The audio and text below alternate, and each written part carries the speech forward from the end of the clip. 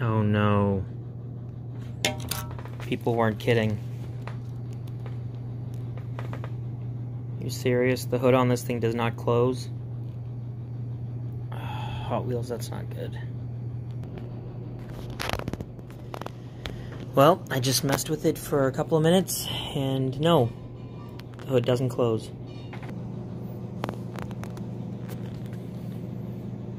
Not happy.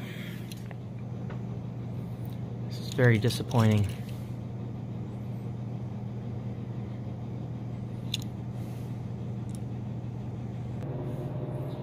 Yeah, this is definitely... No. This hood will not stay closed. And it's absolute bullshit. Very disappointed. Way too much money to spend on a casting to have this kind of thing happen. I love everything else about it, but unacceptable if you ask me.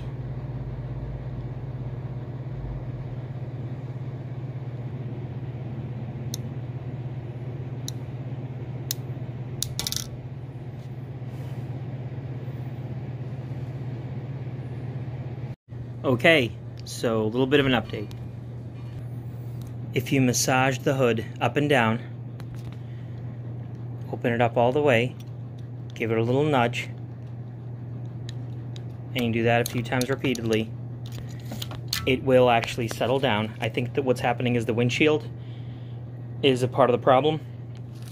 And so you're actually you're pushing the windshield down a tiny bit and sort of stressing putting a little bit of wear and tear into it, and it will eventually, it's not perfect, but it will close to the point where it doesn't look hideous and completely stupid. It is technically, all right, let me show you from the side. It is technically closed. It's as close as it's gonna get. So again, you can't, even if you give it a good firm squeeze, it's not going any more, any lower than that apologize about my fingers with cuts and burn marks all over them. I solder at my day job for a living. Anyway, um, still pretty PO'd about this, but don't get out the Dremel. Don't do anything drastic. Um, this thing still needs side view mirrors. I'm probably going to figure something out for that. Other than that, it's a nice casting. Um, honestly, now that I've managed to get this hood to this point, my number one gripe is the lack of side view mirrors, which is absolutely unacceptable at this price point. I don't even understand how Hot Wheels thinks that's okay. And again, sorry about all the fingerprints. I've been handling this thing, messing around with it. But there you go. Don't go crazy. Don't go drilling this thing apart. Don't go getting a Dremel or anything else drastic. Just try to massage it and open it, get it open and closed, open and closed a few times.